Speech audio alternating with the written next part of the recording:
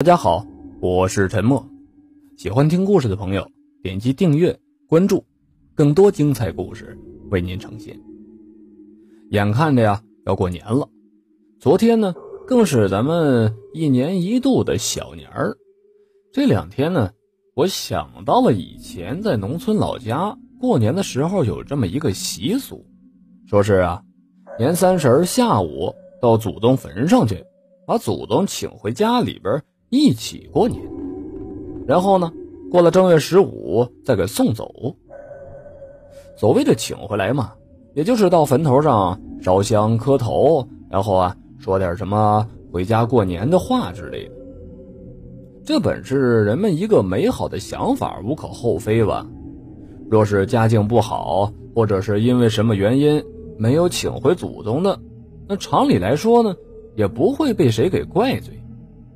关键在于啊，这个事情在时间上啊，它是有规定的，一定要在太阳下山之前到坟地去请祖宗，而且女人不能去。我邻居家呀，有一年就发生了这么一件怪事跟这个美好的祝愿啊有关。本来嘛，这家是挺穷的一家人，偏偏的呢。哎，这男主人是一个没有任何能耐却又极其要面子的蠢人。到了年三十下午，因为种种原因，这家人没能来得及去坟地里边接祖宗回来。可到了晚上啊，这男主人就突发奇想了，非要去坟地里边接祖宗去。这女主人就劝他了：“你就别扯了，人家都是下午之前去，你说你大半夜的你去啥呀？”不过呀，这男主人呢，那是特要面子的人。你越劝我，我就越去。女主人没办法了，只能跟着去。按理来说，这已经犯了两条禁忌了啊！可这两位呢，却浑然不觉。男主人为了表示隆重，专门的套了四匹马的车。去的时候轻轻松松的，到了坟地烧香磕头，然后就回走。可是回来的时候啊，这马车超重了，居然超重了，能看得见，只有女主人坐在那空马车上，而这四匹马用尽了力气，气喘吁吁，大汗淋漓，地上的车辙印也是特别的深，那明显呢是拉了很重的东西啊。还没走到家门口呢，他家养了两只大狗就冲出来，汪汪汪汪的直叫。拦在大门口，拦住马车，不允许这马车进家门。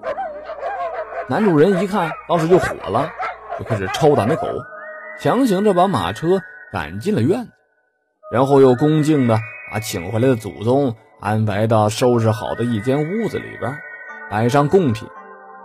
这期间呢，那两只狗一直在狂叫不停，甚至要冲到屋子里边去。这男主女主丝毫没有察觉到异样啊，就开始了准备年夜饭吧。我们那边的习俗是啊，这年夜饭一定要在午夜十二点的时候吃，鞭炮呢也是在半夜十二点的时候放。就在这男女二人准备停当，只等着新年钟声敲响的时候，从安置祖宗那屋子里边可就传来了声音。刚开始的时候啊。那是类似于轻声的笑，然后好像是很多人在低声交谈。紧接着，屋子里边放贡品的盘子，甚至是烧香炉的香炉，无缘无故的就开始飞起来，掉在地上碎裂。空无一人的房间里边变得特别的热闹了，就好像有一群人在打架似的。外边的两只狗叫得越来越凶，男女主人开始傻了眼了。好在这村里边有一个阴阳仙儿，赶紧的请过来看。大仙儿过来掐指一算，就问了：“你是不是太阳落山才去的坟地呀？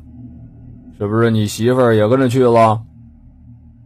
号称天不怕地不怕的这个男主立马就磕头，像捣蒜一样：“是是是啊！”大仙儿就说了：“你们这回请回来的。”根本就不是你家的祖宗，全是孤魂野鬼。今年你们也别在家过年了，赶紧收拾收拾东西，到别人家去避避吧。这男女二人慌里慌张的收拾东西，在大伙的指点之下，到了别人家去躲避。在这期间呢，那间空无一人的房间的声响是越来越大，这真的是闹得人呢头皮直发麻。摔东西声、轻笑声、训斥声，在这个年三十的夜里边的一间空屋子里，还夹杂着两只狗的汪汪的叫声。整个村子都被惊动了。我们就站在院子门口，看那大仙儿在院子里边做法。那两条狗拼命的往屋子里边闯，被几个胆大的小伙子强行的给拉出了院子。渐渐的呀。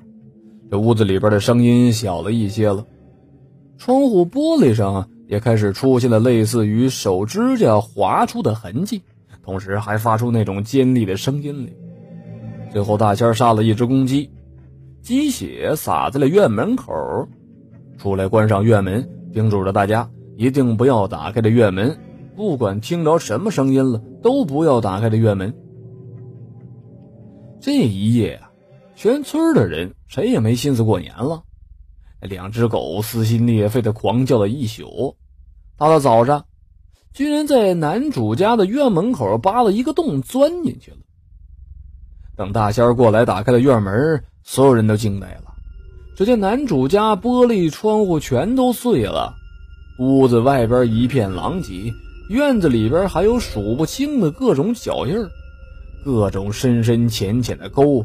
而那两条狗死在院子里，死状特惨。之后的事儿嘛，我就是听说来的了。说这个事儿一出啊，大家伙都吓坏了，很多人大年初一的就离开了村子，我就是其中一个。据说那大仙儿又是各种破解，让这家人呢做着各种各样的事情，具体是什么嘛，没人细说。只是知道啊，后来这家人连着半年多，每个月月圆的时候都要在那十字路口烧纸钱。不过打那之后嘛，过年的时候这村子里边啊也没有人再去请祖宗了，不管是什么时间，不管有没有女人跟着，这个习俗呢到这儿也就算是结束。给大家介绍一个赚零花钱的办法。详情可加 QQ 群免费咨询：二七八八八八七八零，二七八八八八七八零。